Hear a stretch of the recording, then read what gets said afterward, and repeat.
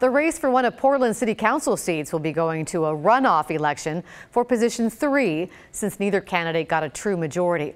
Loretta Smith, a current Multnomah County Commissioner, and Jo Ann Hardesty, a former state representative, will compete in a runoff election this November.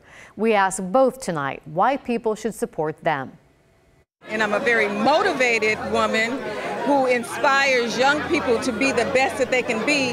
And I have a track record and I have experience. I have over 20 years of experience working to help the most vulnerable in this community. And we believe that if the, the people of Portland had a real choice, they would want somebody who had to work for a living, who had their shared lived experience, and they would think that voices outside of uh, downtown would be a very welcome voice on the city council. For council position number two, Nick Fish has won re-election. He will be the longest serving commissioner on the council when Dan Saltzman retires.